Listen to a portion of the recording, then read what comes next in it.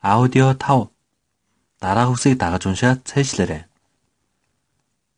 갈비뼈, Хавирганы яс, 팔찌, бугуйвч, 꿈, мөрөөдөл, зүуд, 낚시, загасчлал, 날씨, цаг агаар, 뛰다, гүйх, 뜸을 뜨다, төөнөөр тавих, 머리를 깎다, үсээ засуулах, 뼈, яс, 썩다, ялзрах, 손톱깎이, хумсны худаг, 아까, саяхан, 아가씨, бүсгүй, 아끼다, гамнах, химнэх, 어깨, мөр, 예뻐지다, хөөрхөн болох, 오빠, ах, 이럴 때, энэ үед, 코끼리, заан,